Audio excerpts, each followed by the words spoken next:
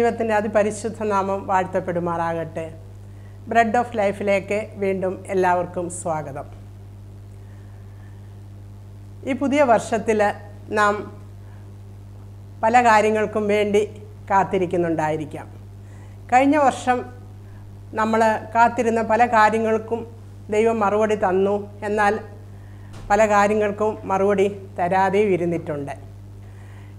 എന്നാൽ ഈ പുതിയ വർഷവും നമ്മൾ അതിനുവേണ്ടി കാത്തിരിക്കുകയാണ്. ദൈവത്തിൽ ആശ്രയിച്ചുകൊണ്ട് നമ്മൾ കാത്തിരിക്കുകയാണ്. ദൈവത്തിന്റെ പ്രവൃത്തിക്കായിട്ട് കാത്തിരിക്കുന്നുണ്ട്. നമ്മൾ നോക്കുമ്പോൾ ദൈവത്തെ കാത്തിരിക്കുന്നതിനേക്കാൾ അല്ലെങ്കിൽ ദൈവ പ്രവൃത്തിക്ക് വേണ്ടി കാത്തിരിക്കുന്നതിനേക്കാട്ട് എളുപ്പമായിട്ട് മറ്റുള്ളവരെ കാത്തിരിക്കുന്നത് കുറച്ചുകൂടെ എളുപ്പമാണെന്ന് നമുക്ക് തോന്നും. നമ്മൾ വിചാരിക്കും ദൈവം നമ്മളെ മറന്നുപോയോ? ദൈവം നമ്മളെ ഉപേക്ഷിച്ചു പോയോ എന്റെ ന്യായമായ ഒരു കാര്യമാണെങ്കിലും എനിക്ക് എന്റെ അഡ്രസ്സ് പോലും ദൈവം മറന്നുപോയോ എന്നൊക്കെ നമ്മൾ ചിന്തിക്കുക ചിന്തിക്കും. അപ്പോൾ നമുക്ക് ഇന്ന് കർത്താവിന് വേണ്ടി കാത്തിരിക്കുമ്പോൾ കർത്താവ് എങ്ങനെയാണ് പ്രവർത്തിക്കുന്നത് എന്നുള്ളതിനെപ്പറ്റി നമുക്ക് അല്പസമയം ചിന്തിക്കാം. അതിനായിട്ട് യശയാ പ്രവചനം നാൽപ്പതാം അധ്യായത്തിന്റെ ഇരുപത്തേഴ് മുതൽ മുപ്പത്തി ഒന്ന് വരെയുള്ള വാക്യങ്ങൾ വായിക്കാം. Isaiah chapter forty verses twenty seven to thirty one എന്നാൽ എന്റെ വഴി യഹോവയ്ക്ക് മറഞ്ഞിരിക്കുന്നു. എന്റെ ന്യായം എന്റെ ദൈവം കാണാതെ കടന്നുപോയിരിക്കുന്നു. എന്നെ യാക്കോബെ നീ പറയുകയും ഇസ്രയേലെ നീ സംസാരിക്കുകയും ചെയ്യുന്നത് എന്ത് നിനക്കറിഞ്ഞുകൂടെയോ? നീ കേട്ടിട്ടില്ലയോ? യഹോവ നിത്യദൈവം. ഭൂമിയുടെ അറുതികളെ സൃഷ്ടിച്ചവൻ തന്നെ. അവൻ ക്ഷീണിക്കുന്നില്ല തളർന്നു പോകുന്നില്ല. അവന്റെ ബുദ്ധി അപ്രമേയമത്രേ. അവൻ ക്ഷീണിച്ചിരിക്കുന്നവന് ശക്തി നൽകുന്നു ബലമില്ലാത്തവന് ബലം വർദ്ധിപ്പിക്കുന്നു. ബാല്യക്കാർ ക്ഷീണിച്ചു തളർന്നു പോകും. യൗവനക്കാരും ഇടറി വീഴും. എങ്കിലും യഹോവയെ കാത്തിരിക്കുന്നവർ ശക്തിയെ പുതുക്കും. അവർ കഴുകന്മാരെ പോലെ ചിറകെ അടിച്ച് കയറും. അവർ തളർന്നു പോകാതെ ഓടുകയും ക്ഷീണിച്ചു പോകാതെ നടക്കുകയും ചെയ്യും. ഇവിടെ ദൈവത്തിന്റെ പ്രവൃത്തിക്ക് വേണ്ടി ദൈവത്തിന്റെ പ്രവർത്തനത്തിന് വേണ്ടി കാത്തിരുന്ന് ക്ഷീണിച്ച ഇസ്രായേൽ മക്കളോട് യഹോവയായ ദൈവം ഇവിടെ സംസാ യശ്യാ പ്രവചനയിൽ കൂടി യഹോവയായ ദൈവം ഇവിടെ സംസാരിക്കുകയാണ്. അവർ കാത്തിരുന്നു ദൈവത്തിന്റെ പ്രവൃത്തികൾക്ക് വേണ്ടി. എന്നിട്ട് അവർ ദൈവത്തോട് തന്നെ ചോദിക്കുന്നു ദൈവമേ ഞങ്ങളെ നീ മറന്നുപോയോ? ഏ ഞങ്ങളുടെ ന്യായം നീ കേൾക്കുന്നില്ലല്ലോ. ഞങ്ങൾ ദൈവമേ നിന്നോട് നിലവിളിച്ചിട്ട് നീ ഞങ്ങളെ മറന്നിരിക്കുകയാണോ നീ ഞങ്ങളുടെ വഴി ദൈവമേ നിനക്ക് മറിഞ്ഞിരിക്കുകയാണല്ലോ. ഞങ്ങളുടെ ന്യായമായ ആവശ്യങ്ങൾ പോലും സാധിച്ച് കിട്ടുന്നില്ലല്ലോ എന്ന് ഇസ്രായേൽ മക്കൾ പറയുമ്പോൾ ദൈവം അവരോട് സംസാരിക്കുകയാണ് ഈ വാക്ക്. നമ്മൾ വായിച്ച ഈ വാക്യത്തിൽ കൂടി. ഇന്ന് അന്ന് ഇസ്രായേൽ മക്കൾ പറയുന്നത് പോലെ നമ്മളിൽ പലരും അങ്ങനെ ദൈവത്തോട് ചോദിക്കുന്നുണ്ട്. ദൈവമേ ഒരു ന്യായമായ ആവശ്യത്തിന് വേണ്ടി ഞാൻ പ്രാർത്ഥിച്ച് നിനക്ക് വേണ്ടി ഞാൻ നിന്റെ പ്രവർത്തിക്ക് വേണ്ടി നീ ഞാൻ കാത്തിരിക്കുകയാണല്ലോ. എന്നാൽ ദൈവമേ നീ എന്നെ അങ്ങ് മറന്നുപോയല്ലോ. നീ എന്നെ ഉപേക്ഷിച്ചോ കർത്താവേ? എന്റെ ആവശ്യങ്ങളെ കാണാതെ കൊണ്ട് നിന്റെ മുഖം മറച്ചിരിക്കുകയാണോ കർത്താവേ? നീ എന്നെ അങ്ങ് മറന്നു പോയല്ലോ കർത്താവേ. എന്ന് പറഞ്ഞ് പരാതികൾ കൊണ്ട് വേദനയിൽ ദൈവത്തിൽ ആശ്രയിക്കുന്നവർ പോലും ചിലപ്പോൾ തളർന്നു പോകുമ്പോൾ ഈ കാത്തിരിപ്പിൽ തള മറുപടി കിട്ടാതെ ക്ഷീണിച്ചു പോകും തളർന്നു പോകും ബലഹീനരായി പോകും. അതങ്ങനെ തന്നെ ആകുമെന്ന് ദൈവജനവും നമ്മളെ പഠിപ്പിക്കുന്നുണ്ട്. അങ്ങനെയൊക്കെ ആകുമ്പോൾ ദൈവം പറയുന്നത് യഹോവയായ ദൈവം അങ്ങനെ കാത്തിരിക്കുന്നവരോട് പറയുന്നത് നമ്മളങ്ങനെ കാത്തിരിക്കുന്നുണ്ടെങ്കിൽ നമ്മൾ മനസ്സിലാക്കണം ആരെയാണ് നമ്മൾ കാത്തിരിക്കുന്നത്. നമ്മുടെ കാത്തിരിക്കുന്ന ദൈവം പ്രവർത്തിക്കാൻ കഴിവുള്ളത് കൊണ്ടാണ് അവനിൽ ആശ്രയിച്ചുകൊണ്ട് നമ്മൾ കാത്തിരിക്കുന്നത്. എന്നാൽ നമ്മൾക്ക് മറുപടി കിട്ടുന്നില്ല. അപ്പോൾ നമ്മൾ ഓർക്കണം യഹോവയായ ദൈവം തന്നെ ഇസ്രായേൽ മക്കളോട് പറയുന്നു നിങ്ങൾ എന്നെ കാത്തിരിക്കുന്നു എന്റെ പ്രവൃത്തികൾക്കായി കാത്തിരിക്കുന്നു. അവിടെ പറയുന്ന യഹോവ നിത്യദൈവം.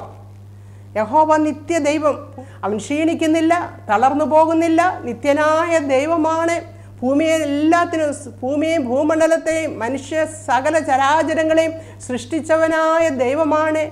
ഈ ദൈവത്തിന്റെ ബുദ്ധി അപ്രമേയമത്രേ. ഈ ദൈവത്തിന്റെ ബുദ്ധി അളക്കുവാൻ ദൈവം എന്തുകൊണ്ട് ഇങ്ങനെ പ്രവർത്തിക്കുന്നുവെന്നൊക്കെ ചിന്തിക്കുവാൻ നമുക്ക് കഴിയുകയില്ല. ആ ദൈവത്തിന്റെ പ്രവർത്തനത്തിന്റെ പുറകിലുള്ള ദൈവത്തിന്റെ പർപ്പസ് എന്തുവാണെന്ന് മനസ്സിലാക്കാനുള്ള ബുദ്ധിയൊന്നും നമുക്കില്ല. ദൈവത്തിന്റെ ബുദ്ധി അപ്രമേയമത്രേ അതിനെ അളക്കുവാൻ അതിന്റെ ജ്ഞാനം അളക്കുവാൻ നമുക്ക് കഴിയുകയില്ല എന്ന് ഇവിടെ പറയുകയാണ്. അവിടെ പറയുന്ന ബാല്യക്കാർ ക്ഷീണിച്ചു പോകും. യൗവനക്കാരും ഇടറി വീഴും. ബാല്യക്കാരും യൗവനവും ബാല്യവും എന്നൊക്കെ പറയുന്നത് തങ്ങളുടെ ശക്തിയിൽ തന്നെ ആശ്രയിക്കുന്നവരാണ്. അവർ ബലമുള്ളവരാണ് ശക്തിയുള്ളവരാണ്. അവരും ക്ഷീണിക്കുകയും തളർന്നൊന്നും പെട്ടെന്ന് ക്ഷീണിക്കുകയും തളർന്നു പോകുകയൊന്നും ചെയ്യുന്നില്ല. എന്നാൽ അവരും തളർന്നു പോകുകയും ക്ഷീണിക്കുകയൊക്കെ ചെയ്യുന്ന അവസരങ്ങളുണ്ട്. അതാണ് ഇവിടെ പറയുന്നത്. എന്നാൽ യഹോവയെ കാത്തിരിക്കുന്നവർ ഒരു നാളും ക്ഷീണിച്ചു പോകത്തില്ല. അവർ തളർന്നു പോകത്തില്ല. അവർ ക്ഷീണിക്കുകയും തളരുകയൊക്കെ ചെയ്യുമ്പോൾ അവരെ ബലപ്പെടുത്തുന്ന ഒരു ശക്തിയുണ്ട്. അത് നമ്മുടെ നിത്യനായ ദൈവത്തിന്റെ സകലത്തെ സൃഷ്ടിച്ചവനായ ദൈവത്തിന്റെ ബുദ്ധി അഗോചരമായിരിക്കും ദൈവത്തിന്. ആ ബുദ്ധിയുള്ള ദൈവത്തിന്റെ കരം നമ്മളെ ബലപ്പെടുത്തുകയും നമ്മളെ ശക്തീകരിക്കുകയും ചെയ്യുമെന്ന് ഇവിടെ പറയുന്നുണ്ട്. അപ്പോൾ നമ്മൾ നോക്കും നമ്മൾ വിചാരിക്കുന്നു എന്തുകൊണ്ടാണ് ഈ ദൈവത്തിന് വേണ്ടി കാത്തിരിക്കുവാൻ ദൈവം പറയുന്നത്? നമ്മൾ നോക്കും നമ്മൾ വിചാരിക്കും എന്തിനു വേണ്ടി ദൈവത്തിനങ്ങ് പ്രവർത്തിച്ചു കൂടായോ? എന്തിനു വേണ്ടിയാണ് ദൈവം ഈ കാത്തിരിക്കുവാൻ വേണ്ടി പറയുന്നത്? ദൈവത്തിന്റെ സ്വഭാവം നമ്മൾ നോക്കുമ്പോൾ നമ്മുടെ ദൈവം എങ്ങനെയുള്ള ദൈവമാണ്? നമുക്കെല്ലാം പെട്ടെന്ന് പെട്ടെന്ന് കാര്യങ്ങൾ സാധിക്കണം. അങ്ങനെയുള്ളൊരു ലോകത്തിലാണ് നമ്മൾ ജീവിക്കുന്നത്. എല്ലാ കാര്യങ്ങളും നമുക്ക് പെട്ടെന്ന് നമുക്ക് ലഭിക്കുന്നുണ്ട്. എന്നാൽ ഇവിടെ പറയുന്നത് ദൈവത്തിന്റെ സ്വഭാവത്തെ പറ്റി നമ്മൾ നോക്കുമ്പോൾ ദൈവത്തിന്റെ ദൈവം ദീർഘക്ഷമയുള്ളവനാണ്. ദൈവം സഹിഷ്ണുതയുള്ളവനാണ്. റോമാലേഖനം പതിനഞ്ചാം അധ്യായത്തിന്റെ അഞ്ചാം വാക്യത്തിൽ പറയുന്നത് നമ്മുടെ ദൈവം സഹിഷ്ണുതയുള്ളവനും ആശ്വാസപ്രദനുമാണ്. റോമാലേഖനം രണ്ടാം അധ്യായം നാലാം വാക്യത്തിൽ പറയുന്നത് അവൻ സഹിഷ്ണുതയുള്ളവനും ദീർഘക്ഷമയുള്ളവനാണെന്നാണ് അവിടെ പറയുന്നത്. അപ്പോൾ നമ്മുടെ ദൈവത്തിന്റെ സ്വഭാവം അങ്ങനെയാണ്. അവൻ ക്ഷമയോടെ അല്ല അവൻ ക്ഷമയോടെ നമ്മുടെ ജീവിതത്തിൽ ചെയ്തില്ല എങ്കിൽ നമ്മളൊന്നും ഇവിടെ കാണത്തില്ലല്ലോ. അപ്പോൾ നമ്മൾ നോക്കുമ്പോൾ ഒരു വിശ്വാസിയുടെ ജീവിതത്തിലായാലും ഒരു അവിശ്വാസിയുടെ ജീവിതത്തിലായാലും ദൈവം വളരെ ക്ഷമയോടെ എല്ലാം ഡീൽ ചെയ്യുന്നത്. വളരെ ക്ഷമയോടെ. കർത്താവ് അതാതിന്റെ സമയത്തെല്ലാം വളരെ ക്ഷമയോടെ കർത്താവ് നമ്മളെ പല കാര്യങ്ങളും പഠിപ്പിച്ച് നമ്മൾ ദൈവത്തിൽ ആശ്രയിക്കുന്ന വ്യക്തിയാണെങ്കിൽ പല കാര്യങ്ങളും പഠിപ്പിച്ച് ദൈവം നന്മയ്ക്കായിട്ട് സകല കാര്യങ്ങളും നമുക്ക് ചെയ്യും. നമുക്കൊരു ശുഭഭാവി വരുവാൻ തക്കവണ്ണം നമുക്ക് ദൈവം നമുക്ക് തന്നിരിക്കുന്ന വാഗ്ദത്തങ്ങൾ നിറവേറുവാൻ തക്കവണ്ണം ചില പ്രത്യേക സാഹചര്യങ്ങളിൽ നമ്മൾ ആയിരിക്കുമ്പോൾ അതിൽ നിന്ന് നമ്മൾക്കൊരു വിടുതലിന് വേണ്ടിയായിരിക്കും നമ്മൾ കാത്തിരിക്കുന്നത്. ദൈവം നമുക്ക് പറഞ്ഞിരിക്കുന്ന വാഗ്ദത്തങ്ങളുടെ ഫുൾഫിൽമെന്റിന് വേണ്ടിയായിരിക്കും നമ്മൾ കാത്തിരിക്കുന്നത്. എന്നാൽ ആ ദൈവത്തിന്റെ സമയത്തെ അത് തന്നെ നമ്മളെ തൃപ്തിപ്പെടുത്തുവാൻ നമ്മളെ അനുഗ്രഹിക്കുവാൻ ദൈവം മതിയായ ദൈവമാണ്. നമ്മൾ ദൈവത്തിനും പഠിക്കുമ്പോൾ നമുക്ക് മനസ്സിലാകും ദൈവത്തിന് വേണ്ടി കാത്തിരുന്നവർ അനേകരുണ്ട്. ദാവിദ് ദൈവത്തിന്റെ പ്രവൃത്തിക്ക് വേണ്ടി കാത്തിരുന്നു. മോശ ജോസഫ് ഇവരെല്ലാം ദൈവത്തിന്റെ പ്രവൃത്തിക്ക് വേണ്ടി കാത്തിരുന്നവരാണ്. എന്നാൽ ദൈവത്തിന്റെ പ്രവൃത്തിക്ക് വേണ്ടി അവർ കാത്തിരുന്നു. അബ്രഹാം കാത്തിരുന്നു. അവരാരും ലജ്ജിച്ചു പോയില്ല. ദൈവത്തിന്റെ പ്രവൃത്തിക്ക് വേണ്ടി കാത്തി കുറച്ച് കാലങ്ങൾ അവർക്ക് കാത്തിരിക്കേണ്ടി വന്നു. എന്നാൽ അവരാരും ലജ്ജിച്ചു പോയില്ല. അവങ്കിലേക്ക് നോക്കി പ്രകാശിതരായി അവരുടെ മുഖം ലജ്ജിച്ചു പോയില്ല എന്ന ദൈവവചനം നമ്മളെ പഠിപ്പിക്കുന്നു അപ്പോൾ നമ്മൾ നോക്കണം ഈ വർഷം എന്നെ ഈ വചനം കേൾക്കുന്ന നിങ്ങൾ ആരെങ്കിലും കർത്താവിന്റെ പ്രവൃത്തിക്ക് വേണ്ടി കാത്തിരിക്കുന്നവരുണ്ടെങ്കിൽ ആ കാത്തിരിപ്പിന് ഒരവസാനം തരുന്ന നാളുകളാണ് ഈ വർഷക്കാലം. ദൈവം അതിനൊരു വിടുതൽ തരും. ദൈവം അതിനൊരു സമാധാനം തരും. ദൈവം അതിനൊരു ഉത്തരം തരും. എന്നാൽ നമ്മൾ ഓർക്കണം നമ്മൾ ഏതെല്ലാം സാഹചര്യങ്ങളിലാണ് എന്തുകൊണ്ടാണ് കർത്താവിന് വേണ്ടി കാത്തിരിക്കണമെന്ന് നാം പറയുന്നത്? നമ്മൾ ചില സാഹചര്യങ്ങളായിരിക്കുമ്പോൾ നമ്മുടെ പ്രവൃത്തികൾ കൊണ്ട് ആ സാഹചര്യങ്ങളെ മാറ്റുവാൻ നമുക്ക് കഴിയുകയില്ല. എന്നാൽ ദൈവത്തിന് ആ സാഹചര്യത്തിനെ മാറ്റുവാൻ കഴിയും. അങ്ങനെയുള്ള സാഹചര്യങ്ങൾ നമ്മുടെ ജീവിതത്തിൽ വന്നു ഭവിക്കുമ്പോൾ ദൈവത്തിന്റെ പ്രവർത്തനങ്ങൾക്ക് വേണ്ടി നാം കാത്തിരിക്കണം. കാരണം ആ സാഹചര്യത്തിന്റെ മേൽ ദൈവത്തിന് മാത്രമേ നമുക്ക് ആ പ്രതികൂല സാഹചര്യത്തെ മാറ്റി നമുക്കൊരു അനുകൂലമായ സാഹചര്യങ്ങൾ തരുവാൻ പറ്റുകയുള്ളൂ. അങ്ങനെ പ്രതികൂല സാഹചര്യങ്ങൾ നമുക്ക് ഉണ്ടാകുമ്പോൾ ദൈവത്തിന്റെ പ്രവർത്തനത്തിന് വേണ്ടി നാം മിണ്ടാതെ കാത്തിരിക്കണം. അപ്പോൾ തന്നെ ദൈവം നമ്മളോട് പറയുന്ന കാര്യങ്ങൾ നാം ചെയ്തിരിക്കണം. നമുക്കറിയാം ചെങ്കടലിന്റെ മുമ്പിൽ ഇസ്രായേൽ മക്കൾ വന്നു നിന്നു. അപ്പോൾ പിറകിൽ മുൻപിൽ ചെങ്കടൽ പിറകിൽ മിശ്രൈമ്യ സൈന്യം ഫറവോൻ തന്റെ രഥങ്ങളുമായി ഇവരുടെ പിറകെ വരുന്നു. എന്ത് ചെയ്യണമെന്ന് അവർക്ക് അറിയത്തില്ല അവർ മോശയ്ക്ക് വിരോധമായി അവർ പിറുപിറുത്തു. എന്നാൽ യഹോവായ ദൈവം മോശയോട് പറയും നിങ്ങൾ മിണ്ടാതിരിപ്പിൻ. ഇന്ന് ഞാൻ ചെയ്യുന്നത് നിങ്ങൾ കാണും. എന്റെ നിങ്ങൾ മിണ്ടാതിരിപ്പിൻ. ഞാൻ ദൈവമെന്ന് നിങ്ങൾ അറിയും. നിങ്ങൾ മിണ്ടാതിരിപ്പിൻ എന്ന് പറഞ്ഞുകൊണ്ട് ചെയ്യേണ്ട കാര്യങ്ങൾ എന്താണെന്ന് മോശയ്ക്ക് അവിടെ പറഞ്ഞു കൊടുത്തു. അവർക്ക് അവിടെ ഒന്നും ചെയ്യാൻ പറ്റാത്ത കാര്യങ്ങളായിരുന്നു. അവരെ കൊണ്ട് ഒന്നും ചെയ്യാൻ കഴിയില്ല. എന്നാൽ ദൈവം പറഞ്ഞതുപോലെ മോശ അവിടെ പ്രവർത്തിച്ചപ്പോൾ ഇസ്രയേൽ മക്കൾക്ക് അവിടെ വിടുതൽ ലഭിക്കുന്നതായിട്ട് അവിടെ കാണുവാൻ കഴിയുന്നു. രണ്ടാമതായിട്ട് നമ്മൾ നോക്കുമ്പോൾ ചില വ്യക്തി ജീവിതങ്ങൾക്ക് നമ്മൾ മാറ്റം വരണമെന്ന് ആഗ്രഹിക്കുന്നു. പക്ഷേ മാറ്റം വരുന്നില്ല. അപ്പോൾ നാം ദൈവത്തിന്റെ പ്രവർത്തനത്തിനു വേണ്ടി നമ്മൾ കാത്തിരിക്കണം. സകല ജഡത്തിന്റെ ആത്മാക്കളുടെ ഉടയവനാണ് ദൈവം. നമുക്ക് ഒരു വ്യക്തി ജീവിതങ്ങളെയും നമുക്ക് മാറ്റുവാൻ പറ്റുകയില്ല. അപ്പോൾ അങ്ങനെയുള്ള അങ്ങനെയുള്ള നമുക്ക് മാറ്റുവാൻ പറ്റാത്ത ഒരു എന്തെല്ലാം ആയാലും ജീവിതത്തിന് മാറ്റം വരുന്നില്ല എങ്കിൽ പ്രിയപ്പെട്ടവരെ നമ്മൾ കർത്താവിന്റെ കരങ്ങളിൽ സമർപ്പിച്ച് നമ്മൾ കാത്തിരിക്കണം. എല്ലാത്തിന്റെയും മേലും ദൃഷ്ടി പതിക്കുന്നവനായ ദൈവം എല്ലാത്തിനെയും കൺട്രോൾ ചെയ്യുന്നവനാണ് നമ്മുടെ ദൈവം. ദൈവവചനം രാജാവിന്റെ ഹൃദയം ദൈവസന്നിധി നീർത്തോട് കണക്കെ ഇരിക്കുന്നു. തനിക്ക് ഇഷ്ടമുള്ളതൊക്കെ ഉള്ളിടത്തൊക്കെ അവൻ അതിനെ തിരിക്കുന്നു. അപ്പോൾ വ്യക്തി ജീവിതങ്ങൾക്ക് മാറ്റം വരുവാൻ പലരും അനേകരുടെ മാനസാന്തരത്തിനു വേണ്ടി വർഷങ്ങൾ കാത്തിരുന്ന് പ്രാർത്ഥിക്കുന്നുണ്ട്. ആ ഒരു വിഷയത്തിന്റെ മേലൊക്കെ പ്രവർത്തിക്കുവാൻ ദൈവത്തിന് മാത്രമേ കഴിയുള്ളൂ. അങ്ങനെയുള്ള സാഹചര്യങ്ങളിൽ നമുക്ക് ചേഞ്ച് ചെയ്യാൻ പറ്റത്തില്ല ആ സാ വ്യക്തിയെ. അങ്ങനെ ഇങ്ങനെയുള്ള സാഹചര്യങ്ങളിൽ നാം കർത്താവിന്റെ പ്രവർത്തനത്തിന് വേണ്ടി നമ്മൾ കാത്തിരിക്കണം. അതുപോലെ പല പ്രശ്നങ്ങളിൽ കൂടി ചില പ്രശ്നങ്ങൾ നമുക്ക് വരുമ്പോൾ ആ പ്രശ്നങ്ങളുടെ മധ്യേ പ്രവർത്തിക്കുവാൻ നമുക്ക് കഴിയുകയില്ല. സാഹചര്യങ്ങളെ മാറ്റുവാൻ മാത്രമല്ല വ്യക്തി ജീവിതങ്ങളെ മാറ്റുവാൻ മാത്രമല്ല ചില പ്രശ്നങ്ങളെ മാറ്റുവാൻ നമുക്ക് കഴിയുകയില്ല. അങ്ങനെയുള്ള സാഹചര്യങ്ങളിൽ ആ പ്രശ്നങ്ങളെ മാറ്റി അതിനകത്ത് പ്രവർത്തിക്കാൻ നമുക്ക് കഴിയാത്തപ്പോൾ നമുക്ക് മാറ്റുവാൻ കഴിയാത്ത പ്രശ്നങ്ങൾ നമ്മുടെ മുമ്പിൽ വരുമ്പോൾ ദൈവത്തിന്റെ പ്രവർത്തനത്തിനായിട്ട് നമ്മൾ കാത്തിരിക്കണം. നമുക്ക് ഹോസഫത്ത് രാജാവിന്റെ കാര്യം അറിയാം. രണ്ട് രണ്ട് second chronicle chapter twenty verse twelve അവിടെ പറയുന്നത് യഹോസാഫാത്തിനെതിരായിട്ട് യഹൂദ രാജാവായ ആ രാജാവിനെതിരായിട്ട് മൂന്ന് കൂട്ടർ അവിടെ യുദ്ധത്തിന് വന്നു. ഈ രാജാവിനെ പറ്റി വായിക്കുമ്പോൾ വളരെ ദൈവഭയമുള്ള വളരെ സൈനിക ശക്തിയുള്ള ഒരു രാജാവായിരുന്നു. എന്നാൽ ഈ രാജാവിനെതിരായിട്ട് മൂന്ന് കൂട്ടർ അവിടെ യുദ്ധത്തിന് വന്നപ്പോൾ രാജാവ് എന്ത് ചെയ്തു?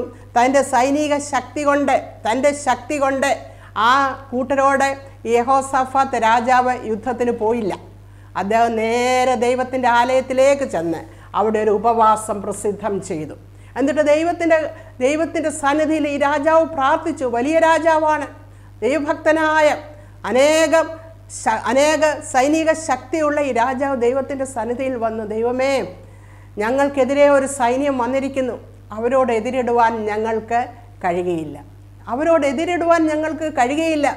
ഞങ്ങൾ ഭയപ്പെട്ടു പോകുന്നു. കർത്താവേ ഞങ്ങളുടെ കണ്ണുകൾ നിങ്കിലേ കാണുന്നു പറഞ്ഞ് ദൈവസന്നിധിയിൽ രാജാവ് മു- മുട്ടുമടക്കിയും ദൈവത്തിന്റെ പ്രവൃത്തിക്ക് വേണ്ടി രാജാവ് അവിടെ കാത്തിരുന്നു.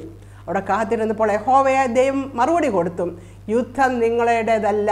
എന്റേതാണ് യുദ്ധമെന്ന്. നിങ്ങൾ ഈ ഇത് ഇതിൽ നിങ്ങൾ യുദ്ധം ചെയ്യേണ്ട കാര്യമില്ല. യുദ്ധം യഹോവയ്ക്കുള്ളതാണെന്ന് പറഞ്ഞ് അവരെ മുന്നോട്ട് ഗൈഡ് ചെയ്യുന്നതായിട്ട് നമുക്കവിടെ കാണുവാൻ കഴിയും. അപ്പോൾ നമ്മൾ ചോദിക്കും എന്തിനു വേണ്ടി ഈ ഈ സാഹചര്യങ്ങൾ ഉണ്ടാകുമ്പോൾ ദൈവത്തെ കാത്തിരുന്ന നമ്മുടെ കാര്യങ്ങൾ നടക്കുമോ? നടക്കും. കാരണം സകലത്തിന്റെയും കൺട്രോൾ ദൈവത്തിന്റെ കരങ്ങളിലാണ്. സകല ഞാൻ ആദ്യം പറഞ്ഞതുപോലെ സകലത്തിനെയും സൃഷ്ടിച്ചവനായ ദൈവത്തിന്റെ കരങ്ങളിലാണ്. ഏത് സരാചരങ്ങളെയും ദൈവത്തിന് മാറ്റുവാനും കഴിയും.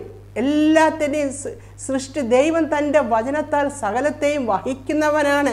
ദൈവം ഈ ലോകത്തിലെ സകല കാര്യങ്ങളെയും തന്റെ വചനത്താൽ വഹിച്ചുകൊണ്ടിരിക്കുകയാണ്.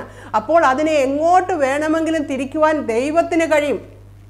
മനുഷ്യ മനസ്സിനെ തിരിക്കുവാൻ മാത്രമല്ല മൃഗങ്ങളുടെ തിരിക്കുവാൻ ദൈവം നമുക്കറിയാം ദൈവവചനത്തിൽ പറഞ്ഞുകൊണ്ട് ഒരു കഴുതയെ കൊണ്ട് ദൈവം സംസാരിപ്പിച്ചതായിട്ട് നമുക്ക് അവിടെ കാണാൻ കഴിയും. ആവശ്യത്തിന്റെ മുഖത്ത് ദൈവം അങ്ങനെ ചെയ്യും.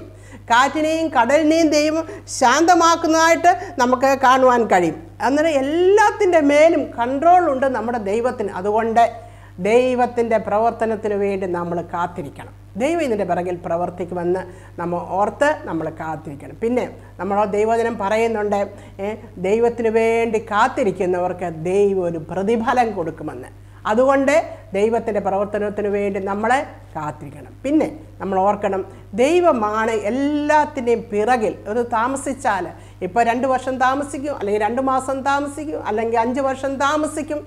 ഇങ്ങനെ താമസം നീണ്ടു പോകുമ്പോൾ നമ്മൾ ഓർക്കണം ഇതിന്റെ പിറകിൽ ദൈവമാണ് പ്രവർത്തിക്കുന്നത്. എല്ലാം നല്ലൊരു ഉദാഹരണം നമുക്ക് ദൈവദിനത്തിൽ തന്നെ നമുക്കുണ്ട്. ഒരു സിമ്പിളായിട്ടുള്ള നമുക്ക് എല്ലാവർക്കും അറിയാവുന്ന ഒരു കാര്യം ദൈവം പ്രവർത്തിക്കുന്നത് എങ്ങനെയാണെന്ന്. നമുക്കറിയാം യോന യോനായുടെ കാര്യം. യോനായെ കടലിൽ ഇട്ടപ്പോൾ അവിടെ പറഞ്ഞിരിക്കുന്നത് യോനായെ യോനായ ഒരു മത്സ്യം വിഴുങ്ങി. അവിടെ നല്ലതായിട്ട് യോന ഒന്നാം അധ്യായം പതിനേഴാം വാക്യം പറയുന്നത് യോനായെ വിഴുങ്ങുവാൻ ദൈവം ഒരു മത്സ്യത്തെ അവിടെ ഏർപ്പെടുത്തി ആക്കി. ഒരു മത്സ്യത്തെ ദൈവമാ ആക്കി. ഒരു മത്സ്യം വന്ന് വിഴുങ്ങി. പക്ഷെ അവിടെ ആരാ മത്സ്യത്തെ ആക്കിയത്? ദൈവമാണ് ആക്കിയതെന്ന് അവിടെ എഴുതിയിരിക്കുന്നത് അതുപോലെ വീണ്ടും നമ്മൾ കാണുന്നുണ്ട് ആ യോനായെ ആ മത്സ്യം ഛർദ്ദിച്ചു വന്ന്. അവിടെയും ആ രണ്ടാം അധ്യായത്തിന്റെ പത്താം വാക്യത്തിൽ എഴുതിയിട്ടുണ്ട് മോ അവിടെ പറയുന്നത് യോനായെ ഛർദ്ദിക്കുവാൻ കര കരയിൽ ഛർദ്ദിക്കുവാൻ ദൈവമാണ് ഈ മത്സ്യത്തോടെ പറഞ്ഞതെന്ന്. അപ്പോൾ നമ്മൾ നോക്കുക ഇതിനകത്ത് പോലും ദൈവത്തിന്റെ കരങ്ങളുണ്ട് ദൈവത്തിന്റെ പ്രവൃത്തികളുണ്ട്. അപ്പോൾ ആ ദൈവത്തിന്റെ പ്രവൃത്തിയുണ്ട് ദൈവത്തിന് എല്ലാ എന്റെ ജീവിതത്തിന്റെ എല്ലാ മണ്ഡലങ്ങളും ദൈവത്തിന്റെ പ്രവൃത്തിയാണ് വെളിപ്പെടുന്നത് എന്നുള്ള റെവലേഷൻ നമുക്ക് ഉണ്ടായിരിക്കണം. അതുകൊണ്ട് ദൈവത്തിന്റെ പ്രവൃത്തിക്കായിട്ട് നമ്മൾ കാത്തിരിക്കണം അപ്പോൾ തന്നെ നമ്മൾ നോക്കും നമ്മൾ എങ്ങനെ കാത്തിരിക്കണം? എങ്ങനെയാണ് കാത്തിരിക്കുന്നത്? ദൈവമേ ഇത് എങ്ങനെയാണ് എനിക്കൊരു വിടുതൽ വേണമല്ലോ. ഞാൻ എങ്ങനെ ഇത്ര നാൾ കാത്തിരിക്കും? എങ്ങനെയാണ് ഞാൻ കാത്തിരിക്കേണ്ടതെന്ന് ചോദിക്കുമ്പോൾ ദാവീദിന് അതിനൊരു മറുപടിയുണ്ട്. ദാവീദ് നമ്മൾ ദാവീദ് ദൈവത്തിന്റെ പ്രവർത്തനത്തിനായിട്ട് വർഷങ്ങൾ കാത്തിരുന്ന മനുഷ്യനാണ്. ആ ദൈവത്തിന്റെ പ്രവർത്തനത്തിനായിട്ട് കാത്തിരുന്ന വിടുതൽ പ്രാപിച്ച ദാവീദ് പറയുന്നുണ്ട്. നിങ്ങൾ ഇരുപത്തേഴാം സങ്കീർത്തനം പതിനാലാം വാക്യത്തിൽ ദാവീദ് പറയുന്നുണ്ട്. എങ്ങനെയാണ് പറയുന്നത്? പ്രത്യ യഹോവയിൽ പ്രത്യാശ വെച്ചുകൊള്ളുക ധൈര്യപ്പെട്ടിരിക്കുക നിങ്ങളുടെ ഹൃദയം ഉറച്ചിരിക്കട്ടെ. എങ്ങനെയാണ് നമ്മൾ കാത്തിരിക്കുക? യഹോവയിൽ പ്രത്യാശയോടെ. എന്റെ ദൈവം എനിക്ക് കാര്യങ്ങളെ സാധിപ്പിച്ചു തരും. പ്രത്യാശയോടുകൂടെ എന്റെ ദൈവം സകലത്തിനെ സൃഷ്ടിച്ചവനായ ദൈവത്താൽ കഴിയാത്ത ഒന്നുമില്ല എന്നുള്ളൊരു പ്രത്യാശയോടുകൂടി നമ്മൾ കാത്തിരിക്കണം. അപ്പോൾ തന്നെ നമ്മൾ ധൈര്യത്തോടുകൂടി കാത്തിരിക്കണം. നമ്മുടെ നമ്മൾ നോക്കുമ്പോഴെല്ലാം പ്രതികൂലമാണ്. എന്നാൽ ദൈവത്തിൽ ആശ്രയിച്ച് നമ്മളെ ധൈര്യത്തോടെ കാത്തിരിക്കണം. അപ്പോൾ തന്നെ നമ്മൾ ഉറപ്പുള്ളവരാ. അതാണ് ദാവീദ്. നിങ്ങളുടെ ഹൃദയം ഉറച്ചിരിക്കട്ടെ. ഏ ഹൃദയം ആടിപ്പോകും. ഹൃദയം വേദനിച്ചു പോകും എന്നാൽ ദൈവവചനം പറയുന്നത് നിങ്ങൾ ഉറച്ച് നിങ്ങളുടെ ഹൃദയം ഉറച്ചിരിക്കും. അങ്ങനെ ഉറപ്പോടെ ദൈവത്തിന്റെ പ്രവൃത്തിക്കായിട്ട് നമ്മൾ കാത്തിരിക്കണം. അപ്പോൾ തന്നെ ദൈവസന്നിധി നാം എങ്ങനെയായിരിക്കണം? ദാവിദ് ഇരുപത്തേഴാം സങ്കീർത്തനത്തിന്റെ കാര്യം ഇരുപത്തേഴാം സങ്കീർത്തനത്തിൽ അത് ദാവിദ് അവിടെ ഇരുപത്തേഴാം സങ്കീർത്തനത്തിന്റെ ഏഴ് മുതൽ പതിനാല് വരെയുള്ള വാക്യങ്ങളിൽ ദാവിദ് അവിടെ പറയുന്നത് ദാവിദിന്റെ ഒരു പ്രാർത്ഥനയുണ്ട്. നമ്മൾ പ്രാർത്ഥനയോടുകൂടി കാത്തിരിക്കണം. ദൈവമേ എന്നോട് കരുണയുണ്ടാകണമേ. ദൈവമേ എന്നോട് കൃപയുണ്ടാകണമേ. കർത്താവേ നിങ്കിലേക്ക് അവിടെ ദാവിദ് അവിടെ പറയുന്നുണ്ട് നിന്റെ മുഖം എനിക്ക് മറക്കരുതേ മറക്കരുതേ. നിന്റെ മുഖം അന്വേഷിപ്പീൻ എന്ന്. നിങ്കിൽ നിന്ന് എനിക്കൊരു കൽപ്പന വന്നിരിക്കുന്നു നിന്റെ മുഖം അന്വേഷിക്കുവാൻ കർത്താവേ ഞാൻ നിന്റെ മുഖം അന്വേഷിക്കുന്നു. എന്റെ വരികൾ എനിക്കെതിരായിട്ട് എഴുന്നേൽക്കുന്നു കർത്താവ്. എന്നാൽ ദൈവമേ നിന്റെ പാതയിൽ നീ എന്നെ നടത്തണമേ. നിന്റെ വഴി എനിക്ക് ഉപദേശിച്ച് തരണമേ കർത്താവേ. ഹാലേലുയ്യ കള്ളസാക്ഷികളും എനിക്കെതിരായിട്ട് എഴുന്നേൽക്കുന്നു. പല പലതും എനിക്കെതിരായിട്ടാ ദൈവമേ എന്നാൽ എന്റെ കണ്ണുകൾ ഇങ്കിലേക്കാണെന്ന് പറഞ്ഞ് ദൈവ സന്നിധിയിൽ നമ്മുടെ വേദനകളെ നമ്മൾ പകരുക. ദൈവസന്നിധി സ്തോത്രത്തോടെ നമ്മളായിരിക്കാം. അപ്പോൾ ഈ കാത്തിരിപ്പിന്റെ സമയങ്ങളിൽ നമ്മൾ പ്രാർത്ഥനയോടെ പ്രാർത്ഥനയിൽ നമ്മുടെ ഹൃദയത്തെ ദൈവസന്നിധിയിൽ നമ്മുടെ വേദനകളെ ദൈവസന്നിധിയിൽ പറയുന്നതോടൊപ്പം തന്നെ സകലത്തിനു വേണ്ടിയും കർത്താവിന് സ്തോത്രം ചെയ്ത് നമുക്ക് പ്രാർ നമുക്ക് നമ്മളെ ആ സമയം പ്രാർത്ഥിക്കുന്നവരായിരിക്കണം. അതുപോലെ തന്നെ ഇരുപത്തേഴാം സങ്കീർത്തനത്തിൽ കാണുന്നുണ്ട് അതിന്റെ നാലാം വാക്യത്തിൽ കാണുന്നുണ്ട് നമ്മൾ ദൈവത്തിന്റെ സാന്നിധ്യം ആഗ്രഹിക്കുന്നവരായിരിക്കണം. ദൈവിക സാന്നിധ്യത്തിന് മാത്രമേ നമ്മളെ സാന്ത്വനിപ്പിക്കുവാൻ കഴിയുകയുള്ളൂ. ദൈവിക സാധന സമീപ സമീപനത്തിന് മാത്രമേ നമുക്ക് ആശ്വാസവും സമാധാനവും തരുവാൻ കഴിയുകയുള്ളൂ. അതുകൊണ്ട് നമ്മൾ ദൈവിക സാന്നിധ്യം നമ്മൾ ആഗ്രഹിക്കുന്നവരായിരിക്കണം. ദാവീദ് ഇരുപത്തേഴാം സങ്കീർത്തനം നാലാം വാക്യത്തിൽ പറയുന്നുണ്ട് ഒരു കാര്യം ഞാൻ അപേക്ഷിക്കുന്നു. അത് തന്നെ ഞാൻ ആഗ്രഹിക്കും ദൈവമേ നിന്റെ സാന്നിധ്യത്തിൽ ആഗ്രഹിക്കുവാൻ നിന്റെ സാന്നിധ്യത്തിൽ എപ്പോഴും ഇരിക്കുവാൻ ഞാൻ ആഗ്രഹിക്കുന്നു. അവിടെയാണ് നിന്റെ മന്ദിരത്തിൽ ധ്യാനിപ്പാനും എന്റെ ആയുഷ്കാലം ഒരുക്കേ ഒക്കെയും നിന്റെ സാന്നിധ്യത്തിലായിരിക്കാൻ ഞാൻ ആഗ്രഹിക്കുന്നുവെന്ന് ദാവീദ് പറയുന്നത് പോലെ തന്നെ ദൈവിക സാന്നിധ്യത്തിൽ. എന്ന് വെച്ചാൽ എപ്പോഴും പോയിരുന്ന് പ്രാർത്ഥിക്കണമെന്നല്ല. അതിന്റെ എപ്പോഴും നമുക്ക് ഇരുന്ന് അങ്ങ് എപ്പോഴും ഇരുന്ന് പ്രാർത്ഥി എന്നാൽ ദൈവമായിട്ട് ഒരു നിരന്തരമായിട്ടുള്ളൊരു ബന്ധം നമുക്ക് എപ്പോഴും പ്രാർത്ഥനയുടെ സമയങ്ങളിൽ മാത്രമല്ല. ദൈവമായിട്ടൊരു നിരന്തരമായിട്ടൊരു ബന്ധം നമുക്ക് അവനുമായിട്ടൊരു കമ്മ്യൂണിക്കേഷൻ ദൈവമേ നമ്മുടെ ഉള്ളത്തിൽ ദൈവത്തോട് എപ്പോഴും ഉണ്ടായിരിക്കണം. അപ്പോൾ തന്നെ നാം കർത്താവിൽ വിശ്വസിക്കുന്നവരായിരിക്കും. എന്റെ ദൈവത്താൽ അസാധ്യമായിട്ടുള്ളത് ഒന്നുമില്ല. ഇരുപത്തേഴാം സങ്കീർത്തനത്തിന്റെ തന്നെ ഒന്നും രണ്ടാം വാക്യത്തിൽ അവിടെ പറയുന്നുണ്ട്. യഹോവ എന്റെ വെളിച്ചവും എന്റെ രക്ഷയുമാകുന്നു. ഞാൻ ആരെ ഭയപ്പെടും? ഞാൻ ആരെയാണ് ഭയപ്പെടുന്നത്? എന്റെ കാര്യങ്ങൾ ദൈവം സാധിക്കും അവൻ എന്റെ വെളിച്ചവും എന്റെ രക്ഷയുമാണ്. ഞാൻ ആരെ ഭയപ്പെടും? യഹോവ എന്റെ ജീവന്റെ ബലം. ഞാൻ ആരെ പേടിക്കും? ഞാൻ ഈ വിഷയത്തിൽ പേടിക്കേണ്ട കാര്യമില്ല. ഞാൻ ഈ വിഷയത്തിൽ ഭയപ്പെടേണ്ട കാര്യമില്ല. യഹോവ എനിക്ക് ഈ കാര്യങ്ങളെ സാധിപ്പിച്ച് തരുമെന്ന് പറഞ്ഞുകൊണ്ട് വിശ്വാസത്തോടുകൂടി വിശ്വാസത്തോടുകൂടി നാം ദൈവത്തിൽ ആശ്രയിക്കണം. നമ്മൾ അനാവശ്യമായ കാര്യങ്ങൾ നമ്മൾ പറഞ്ഞു പോകും. ഒരു പക്ഷേ അവിശ്വാസത്തിന്റെ വാക്കുകൾ നമ്മൾ പറഞ്ഞു പോകും. അപ്പോൾ അങ്ങനെയല്ല നമ്മൾ വിശ്വാസത്തിന്റെ അതാ മിണ്ടാതിരുന്ന് ഞാൻ ദൈവമെന്ന് അറിഞ്ഞുകൊള്ളുവിൻ. ദൈവം നമ്മളോട് പറയുന്ന കാര്യങ്ങൾ നമ്മൾ അനുസരിക്കുമ്പോൾ തന്നെ ദൈവത്തെ നമ്മൾ നമ്മൾ പ്രാർത്ഥിക്കുന്നത് കാര്യം നടക്കുവാൻ വേണ്ടിയാണല്ലോ. അപ്പോൾ അവിശ്വാസം വന്ന് നമ്മൾ ചിലപ്പോൾ അവിശ്വാസത്തിന്റെ വാക്കുകൾ പറയാതിരിപ്പാനാണ് പറയുന്നത്. മിണ്ടാതിരുന്ന് ഞാൻ ദൈവമെന്ന് അറിഞ്ഞുകൊള്ളുവീനെന്ന്. നമ്മൾ രൂത്തിന്റെ പുസ്തകം പഠിക്കുമ്പോൾ നമുക്ക് മനസ്സിലാകും. രൂത്ത് ബോവസിനെ കണ്ടു കഴിഞ്ഞ് വന്നപ്പോൾ നവോമ്പി രൂത്തിനോട് അവിടെ പറയുന്നുണ്ട് ഈ കാര്യം എന്താകുമെന്ന് അറിയുന്നിടം വരെ നീ അനങ്ങാതിരിക്കാം. ഈ കാര്യം എന്തായി തീരുമെന്ന് അറിയുന്നിടം വരെ നീ അനങ്ങാതിരിക്കാം. അവിടെ അങ്ങനെ പറയുന്നുണ്ട്. എന്നിട്ട് പറയുന്നു ഈ കാര്യം തീരുവോളം അവന് സ്വസ്ഥമായിരിക്കയില്ല എന്ന്. അതായത് നമ്മുടെ കാര്യം കർത്താവ് സാധിപ്പിച്ചു തരും.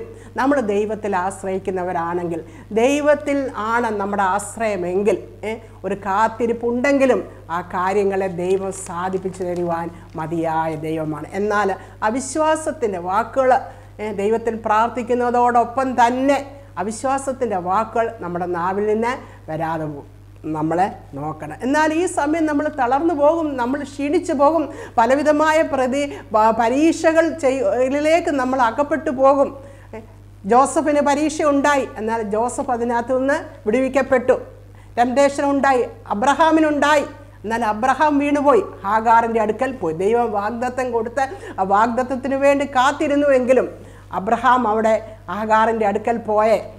പിന്നെയും കൂടുതലായിട്ട് അവിടെ കാത്തിരിക്കേണ്ടതായിട്ട് വന്നുവെന്ന് കാണാൻ കഴിയും. അപ്പോൾ ഈ സമയങ്ങളിൽ ദൈവം നമ്മളോട് ഇടപെടുമ്പോൾ ദൈവഹിതകരമല്ലാത്ത കാര്യങ്ങൾ ചെയ്യുവാൻ ഒരു പക്ഷേ പിശാചി നമ്മളെ പ്രേരിപ്പിക്കുമ്പോൾ ദൈവത്തിൽ ആശ്രയിച്ച് ദൈവഹിതത്തിൽ നാം നിൽക്കണം. ദൈവം പറയുന്നതിനെ നാം അനുസരിക്കണം. ദൈവത്തെ സന്നിധി നമ്മളെ തന്നെ കീഴ് കീഴ്പ്പെടുത്തി കൊടുക്കണം. അങ്ങനെ നമ്മൾ കാത്തിരിക്കുമ്പോൾ നമ്മുടെ ജീവിതത്തിൽ പല വ്യത്യാസങ്ങൾ വരുന്നതായിട്ട് നമ്മൾ ദൈവം നമ്മുടെ ജീവിതത്തിൽ തന്നെ വ്യത്യാസങ്ങൾ വരുത്തി എടുക്കും. നമ്മൾ ദൈവത്തിന് കീഴ്പ്പെട്ട് ദൈവത്തിൽ ആശ്രയിച്ച് നമ്മൾ തീരുമ്പോൾ നമ്മൾ ക്ഷീണിച്ചു പോകാതെ നമ്മൾ തളർന്നു പോകാതെ നമ്മുടെ കാര്യങ്ങൾ നോക്കുവാൻ തക്കവണ്ണം കർത്താവ് നമ്മളെ ബലപ്പെടുത്തുന്നതോടൊപ്പം തന്നെ നമ്മുടെ സ്വഭാവങ്ങൾക്ക് ദൈവം നമ്മളെ ശുദ്ധീകരിച്ചു കൊണ്ടിരിക്കും നമ്മൾ പല വ്യവ- വ്യവസ്ഥകളും ദൈവസ്ഥാനത്തിൽ വെക്കും വെക്കുമായിരിക്കും. എന്നാൽ ആ വ്യവസ്ഥകളൊക്കെ നമ്മൾ തന്നെ മാറ്റി ദൈവഹിതത്തിന് നമ്മൾ നമ്മളെ ഏൽപ്പിച്ചു കൊടുക്കും. നമ്മൾ ദൈവമായിട്ട് ഒരു ബന്ധത്തിൽ ആ നല്ലൊരു നല്ല ഒരു പോസിറ്റീവായിട്ടാണ് ആ കാസ്തിരിപ്പിനെ നമ്മൾ എടുക്കുന്നതെങ്കിൽ നമ്മൾ ദാവിദിനെ പറ്റി കാണും. ദാവിദ് ദൈവത്തിനെതിരായിട്ട് ഒരു വാക്കുപോലും അവിടെ സംസാരിക്കുന്നില്ല തനിക്കെതിരെ ശത്രുതയോടെ നിന്ന ശൗലിനെതിരായിട്ട് ദാവിദ് അവിടെ സംസാരിക്കുന്നില്ല. അപ്പോൾ ഈ കാത്തിരിപ്പിന്റെ സമയത്ത് നമ്മളെ ദൈവത്തോടുള്ള സ്നേഹബന്ധത്തിൽ മുന്നോട്ട് പോവുകയാണെങ്കിൽ നമ്മളെ വിശ്വാസത്തിന്റെ വാക്ക് പറയാതെ ദൈവം എനിക്ക് കാര്യങ്ങളെ സാധിപ്പിച്ച് തരും എന്നുള്ള വിശ്വാസത്തിൽ നമ്മൾ മുന്നോട്ട് ദൈവത്തിൽ ആശ്രയിച്ചു പോകുമ്പോൾ നമ്മളും ദൈവമായിട്ടുള്ള ബന്ധം അവിടെ വർദ്ധിപ്പിക്കും. ഒരു ഒരു ഫാദർ സൺ റിലേഷൻഷിപ്പ് അവിടെ ഉണ്ടാകും. ഒരു ടീച്ചർ സ്റ്റുഡന്റ് റിലേഷൻഷിപ്പ് അവിടെ ഉണ്ടാകും. ഒരു ഫ്രണ്ട്ലി റിലേഷൻഷിപ്പ് അവിടെ ഉണ്ടാകും. ദൈവമായിട്ടുള്ള നമ്മുടെ സ്നേഹബന്ധം അവിടെ വർദ്ധിപ്പിക്കുകയും ദൈവഹിതത്തിൽ ദൈവം നമ്മളെ നിർത്തുകയും ചെയ്യും. അപ്പോൾ തന്നെ നമ്മുടെ ജീവിതത്തിൽ ഒരു ശുദ്ധീകരണം നട നടന്നുകൊണ്ടിരിക്കും.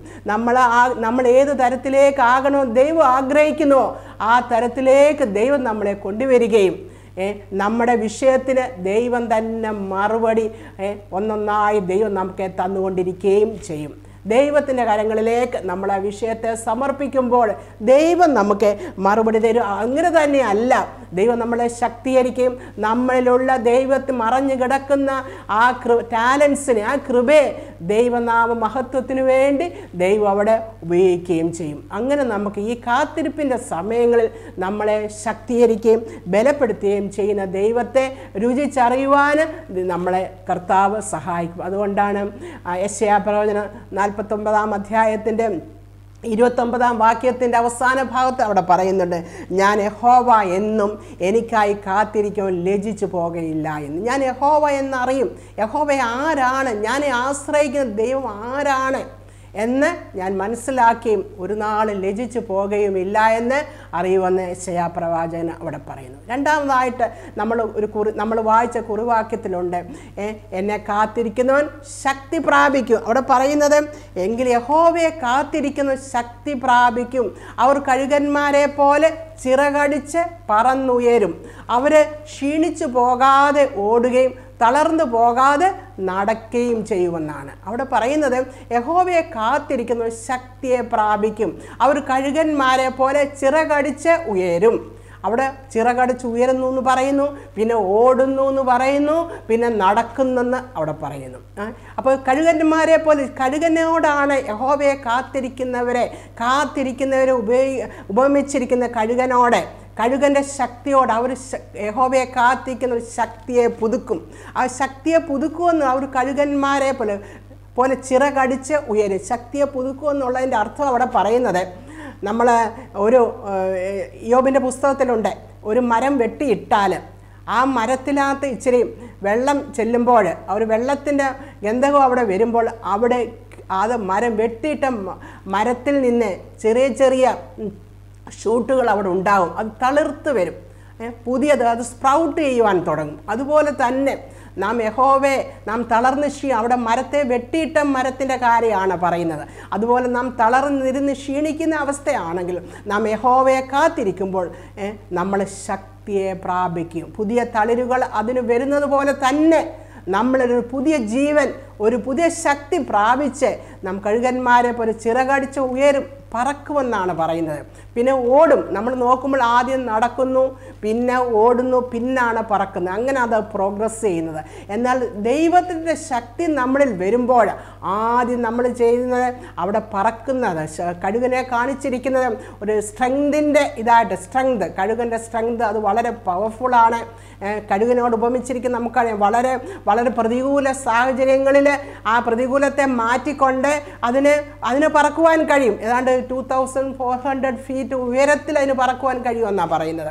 അതുപോലെ ഈ കഴുകന് അതിന്റെ ചിറക് അതുകൊണ്ട് സെവൻ ഫീറ്റ് അത് ഏഴടി അതിനെ അതിനെ സ്പ്രെഡ് ചെയ്ത് അതിന്റെ ചിറകിനെ സ്പ്രെഡ് ചെയ്ത് അതിന് പറക്കുവാൻ കഴിയുമെന്നാണ് പറയുന്നത്. അപ്പോൾ യഹോവയെ കാത്തിരിക്കുന്നവരെ ഒരു കഴുകനോട് ഉപമിച്ച് ആ കഴുകനെ പോലെ അവർക്ക് പറന്ന് ഉയരുവാൻ കഴിയും. ഏത് പ്രതികൂലങ്ങളായാലും ആ കാത്തിരിക്കുന്ന ഒരു ശക്തി പ്രാപിച്ച് അത് ഒരു കഴുകൻ പറക്കുന്നത് പോലെ പറക്കുവാൻ കഴിയും അത് തന്നെയല്ല ഓടുവാൻ കഴിയും. പിന്നെ തളർന്നു പോകാതെ ക്ഷീണിക്കുവാൻ ഒരു ആ വോക്കിംഗ് സ്റ്റേജിലേക്ക് വരുമ്പോൾ ഇനി ഒരു ചുവട് എനിക്ക് മുന്നോട്ട് വെക്കുവാൻ പറ്റുകയില്ല എന്ന് ചിന്തിക്കുന്നവരാണെങ്കിൽ പോലും യഹോബയെ കാത്തിരിക്കുന്ന വ്യക്തിയാണെങ്കിൽ അവർ തളർന്നു പോകാതെ ഇരിക്കുമെന്നുള്ള ദൈവവചനത്തിൽ. അവർ അവരുടെ മനസ്സ് ക്ഷീണിക്കത്തില്ല. അവരുടെ ഹൃദയം ക്ഷീണിക്കത്തില്ല. അവരുടെ ആത്മാവ് ക്ഷീണിക്കത്തില്ല. അവർ ബലത്തോടെ ആയിരിക്കും. അപ്പോൾ നമ്മൾ നോക്കുമ്പോൾ നമുക്ക് കാണുവാൻ കഴിയും. യഹോവയെ കാത്തിരിക്കുന്ന ശക്തിയെ പുതുക്കും. അവർ കഴുകന്മാരെ പോലെ അവർ ചിറകടിച്ച് പയർന്ന് ഉയരും. അവർ ക്ഷീണിച്ചു പോകാതെ ഓടുകയും അവർ തളർന്നു പോകാതെ നടക്കുകയും ചെയ്യുമെന്ന് പറയും. നമുക്ക് കാണുവാൻ കഴിയും. നമ്മളെ ഹോവയെ കാത്തിരിക്കുമ്പോൾ ദൈവത്തിന്റെ പ്രവൃത്തികൾക്കായിട്ട് നമ്മൾ കാത്തിരിക്കുമ്പോൾ നമ്മൾ അതിന്റെ കാത്തിരിപ്പ് കഴിയുമ്പോൾ ആ സമയമാകുമ്പോൾ ദൈവം നമുക്ക് മറുപടി തരിക എന്നല്ല നമ്മളെ ബലപ്പെടുത്തുകയും ശക്തീകരിക്കുകയും ചെയ്യുന്നതായിട്ട് നമുക്ക് മനസ്സിലാക്കുവാൻ കഴിയും. അപ്പോൾ നമ്മൾ യഹോവയെ കാത്തിരിക്കുന്നവരാണെങ്കിൽ വിലാപങ്ങളുടെ പുസ്തകം ലമ്മന്റേഷൻ മൂന്നാം അധ്യായം അതിന്റെ ഇരുപത്തഞ്ചും ഇരുപത്താറും വാക്യത്തിൽ ഇങ്ങനെ പറയുന്നു. തന്നെ കാത്തിരിക്കുന്നവർക്കും തന്നെ അന്വേഷിക്കുന്നവർക്കും യഹോവ നല്ലവനെന്ന്. തന്നെ കാത്തിരിക്കുന്നവർക്കും തന്നെ അന്വേഷിക്കുന്നവർക്ക് യഹോവ നല്ലവൻ. അതുകൊണ്ട് നമുക്ക് യഹോവയുടെ രക്ഷയ്ക്കായി മിണ്ടാതെ കാത്തിരിക്കുക എന്ന്. അതുകൊണ്ട് ഈ പുതിയ വർഷക്കാലം നമ്മൾ ഓർക്കണം. യഹോ നമ്മൾ ഏതെങ്കിലും വിഷയത്തിന് വേണ്ടി നമ്മൾ കാത്തിരിക്കുന്നവരാണെങ്കിൽ യഹോവയുടെ രക്ഷയ്ക്കായി നമുക്ക് മിണ്ടാതെ കാത്തിരിക്കാം. അവൻ നമ്മെ ശക്തീകരിക്കും. നാം തളരുമ്പോൾ നാം ബലഹീനരാകുമ്പോൾ നാം ക്ഷീണിച്ചു പോകുമ്പോൾ അവൻ നമ്മെ ശക്തീകരിക്കുകയും നമ്മെ ബലപ്പെടുത്തുകയും ആ കാത്തിരിക്കുന്ന വിഷയത്തിന് നമുക്ക് മറുപടി ലഭിക്കുകയും ചെയ്യും. നമ്മൾ ദൈവഹിത പ്രകാരം ദൈവത്തിന്റെ പ്രവൃത്തിക്ക് വേണ്ടി നമുക്ക് കാത്തിരിക്കാം. ഈ വചനങ്ങളാൽ ദൈവം നമ്മളെ അനുഗ്രഹിക്കുമാറാകട്ടെ. നമുക്കൊരു നിമിഷം പ്രാർത്ഥിക്കാം. കർത്താവെ ഹാലേ ലുയ സ്തോത്രം സ്തോത്രം. കർത്താവെ ഹാലേ ലുയ യഹോബയെ കാത്തിരിക്കുന്നവർ ഒരു നാളും ലജിച്ചു പോകയില്ല. യഹോബയെ കാത്തിരി യഹോബ എന്നും അവന്റെ മുഖത്തേക്ക് നോക്കിയവർ കാത്തിരിക്കുന്നു. ലജിച്ചു പോകയില്ല എന്ന് ഞങ്ങൾ കേട്ടല്ലോ കർത്താവെ. യഹോവയെ കാത്തിരിക്കുന്നു ശക്തിയെ പുതുക്കുമെന്ന് ഞങ്ങൾ കേട്ടല്ലോ കർത്താവെ. ഹാലേ ലുയ യഹോവയെ കാത്തിരിക്കുന്നവർ കർത്താ കാത്തിരിക്കുന്നവർക്കും യഹോവയെ അന്വേഷിക്കുന്നവർക്കും അവൻ നല്ലവനാണെന്ന് ഞങ്ങൾ കേട്ടല്ലോ കർത്താവെ. അപ്പോൾ തന്നെ കർത്താവെ ഞങ്ങൾക്ക് ക്ഷീണിച്ചു പോകുന്ന അവസ്ഥകൾ ഉണ്ടാകും തളർന്നു പോകുന്ന അവസ്ഥകൾ ഉണ്ടാകും ഹാലേ ലുയ്യ എന്നാൽ ഈ അവസ്ഥകളിലൊക്കെ ഞങ്ങളെ ബലപ്പെടുത്തുവാനും ഞങ്ങളെ ശക്തീകരിക്കുവാനും അവിടുന്ന് മതിയായ ദൈവമാണ് നിത്യനായ ദൈവമാണെന്ന് ഞങ്ങൾ കേട്ടല്ലോ കർത്താവെ. അതുകൊണ്ട് ഈ നാളുകളിൽ കർത്താവെ ഞങ്ങൾ ഏതെങ്കിലും വിഷയങ്ങൾക്ക് ഈ ദൈവവചനം കേൾക്കുന്ന വ്യക്തി ജീവിതങ്ങൾ ഏതെങ്കിലും വിഷയങ്ങൾക്ക് വേണ്ടി കാത്തിരിക്കുന്നവരാണെങ്കിൽ ദൈവിക പ്രവർത്തനത്തിന് വേണ്ടി കാത്തിരിക്കുന്നവരാണെങ്കിൽ കർത്താവെ നിന്നോട് ചേർന്നിരിപ്പാൻ പ്രാർത്ഥനയോടെ ആയിരിപ്പാൻ സ്തോത്രത്തോടെ ആയിരിപ്പാൻ വിശ്വാസത്തോടു കൂടി ആയിരിപ്പാൻ. അവിശ്വാസത്തിന്റെ വാക്കുകൾ പറയാതെ വിശ്വാസത്തോടു കൂടി ആയിരിപ്പാൻ. ഈ ദിവസങ്ങളിൽ അവിടുന്ന് സഹായിക്കണമേ എന്ന് പ്രാർത്ഥിക്കുന്നു. പ്രാർത്ഥന കേട്ടതിനെ ഓർത്ത് സ്തോത്രം. യേശുവിന്റെ നാമത്തിൽ തന്നെ. ആമേൻ. കർത്താവ് അനുവദിച്ചാൽ നമുക്ക് വീണ്ടും അടുത്ത ആഴ്ച കാണാം.